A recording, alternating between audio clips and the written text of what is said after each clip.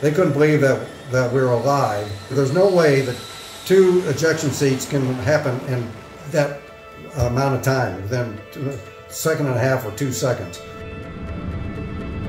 So, so this is back in 1981 aboard the uh, USS uh, Constellation, and I'm a skipper of the VF-24 F-14 uh, fighter squadron, and we're in the uh, Indian Ocean. So about two months into the cruise, uh, get airborne in the afternoon. I lead a flight of uh, three, and uh, we come back uh, to land about four or five o'clock in the afternoon. So the, the aircraft carrier rolls out. I'm in the groove. Call the ball. The ball's on. Everything's looking good. I touch down. I get a, hook skip three to a four. And I'm thinking that's okay. And then everything went into slow motion. So we're going down. I can see the airplane is trying to stop, but I said, this airplane is not going to stop. So you keep the power up as normal.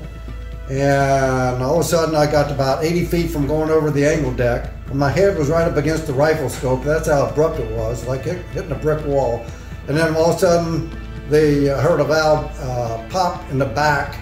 And I, uh, I told uh, Bio, that was a call sign of my uh, radar intercept officer, I said, Bio, eject, eject. And he knew right away that something wasn't right as well. So he initiates ejection. I'm still trying to fly the airplane, even though we're about ready to settle off the angle at about 80 knots. I hear the, the canopy fire, and I said, that's good. And then I heard uh, bio seat fire. Then the airplane hits the water sideways, and I said, hell, my seat's not going to fire.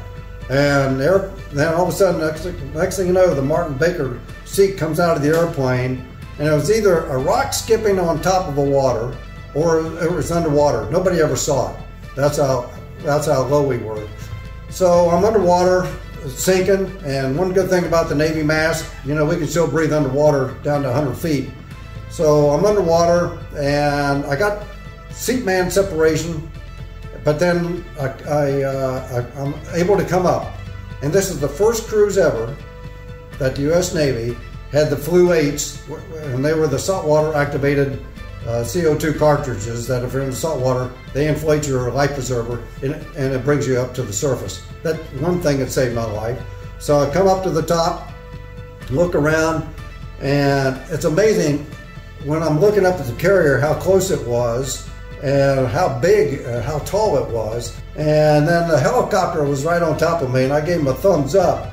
And I said, go to Bio because he was closer to the ship than I was, and he got a partial chute, or maybe he, he got one chute just before it hit the water. I said, go to him. Interesting, it was on that particular catapult shot that Bio says, hey, Skipper, look at all those sea snakes off to the left-hand side. And this is in December of 1981, so it must have been mating season for all these sea snakes. And when I looked over there, I'm not a snake person, even though I come from West Virginia. I hate snakes. I looked over there, and all these brownish green, uh, must have been thousands of them, are intertwined in her mating season. So then I look around me, and I'll be damned if there's not, it looks like a sea snake right behind me.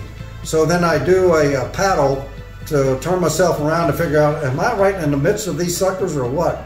Well, then I then I looked at it again, and we actually had 12 to 15 foot swells. And I think that was another thing that saved my life. I must have hit the swell just right, you know, so it didn't break my neck or back.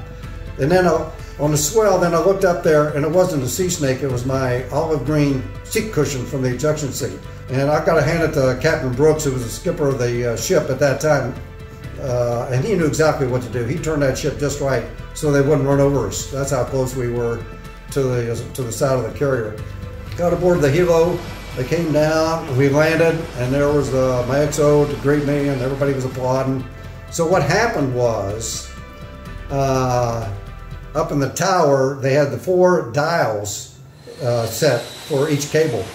Dial number four had been broken, and they got in the habit pattern of listening to somebody else telling them that it was set, when in fact it wasn't set. It was set not for 52,000, except for like uh, bare minimum, like maybe uh, whatever the COD comes in.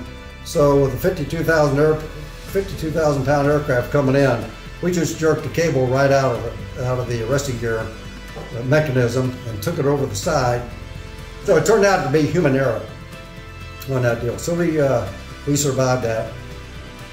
The only thing I got out of it, uh, I lost three quarters of an inch of height due to the compression of my back, and chipped my neck, and uh, and then I couldn't. And, I, I'm a jogger, still today an avid jogger.